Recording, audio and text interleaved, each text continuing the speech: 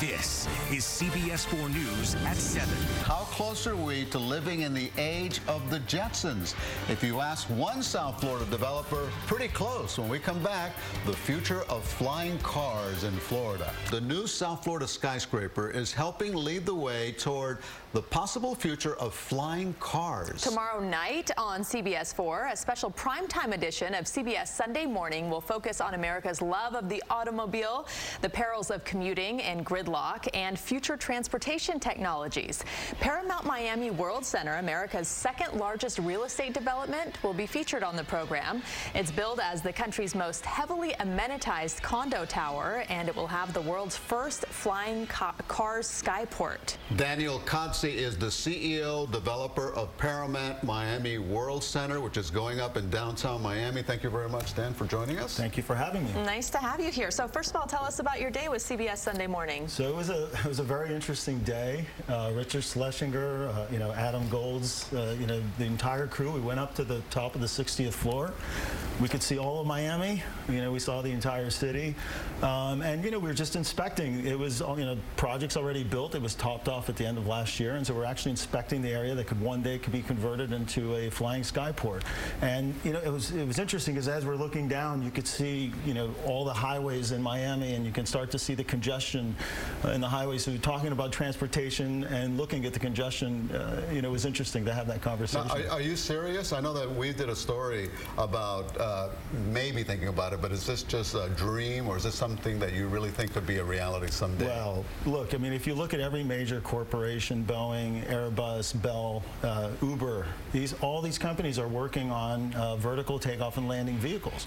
And so this is very real. I mean, this is uh, um, something that, you know, we're already seeing uh, companies that are, that are working on this type of technology. Tomorrow, it's going to be featured. Uh, it's a, a, flying car called PAL V. This is a personal air, air and landing vehicle.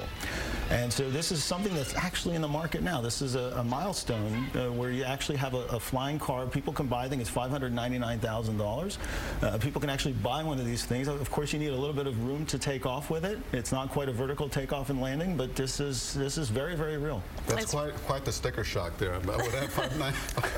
Actually, it's, it's, the price of a, of a, of a private aircraft. There so you it's, go. It's, uh, I guess it falls in that category. I guess in that case, it's reasonable. Or, yeah. or a great Ferrari. And so, why, when you were envisioning this building, why why did you even incorporate this? How did it even come to your mind? So it's interesting when we envisioned the building. Uh, we we always looked at you know, you know Miami when we first started. It was in 2014. Miami was called the city of the future, and so we launched this project in 2015.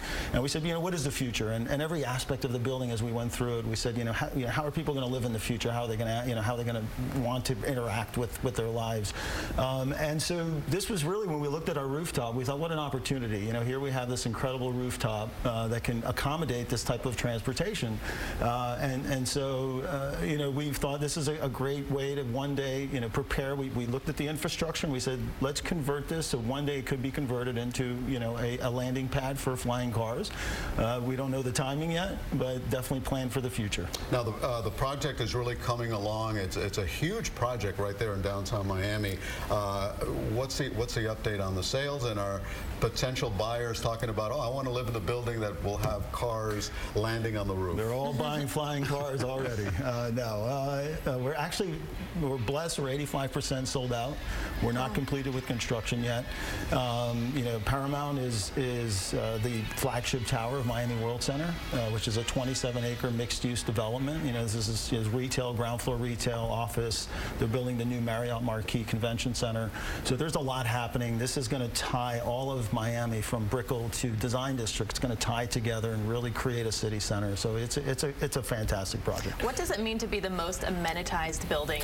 Uh, so we counted one day and we said, wow, we have 46 46 different amenities uh, in our building. Uh, and so uh, you know this is a unique project. Uh, you know we call it a vertical country club uh, because you know we have we have four acres of out just to begin four acres of outdoor deck. So we have this resort pools uh, with bungalows. Uh, you know, we have tennis courts. We have a soccer field.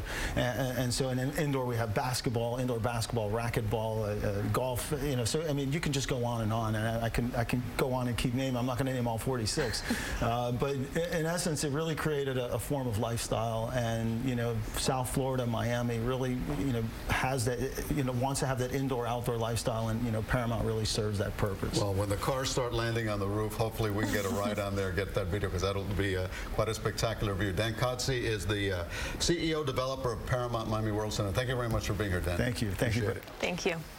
And be sure to tune in tomorrow night for the CBS Sunday Morning Primetime Special, No Exit. South Florida's very own Flying Cars Skyport, the first in the world, will be featured. The one-hour special airs tomorrow at 9 p.m. here on CBS 4.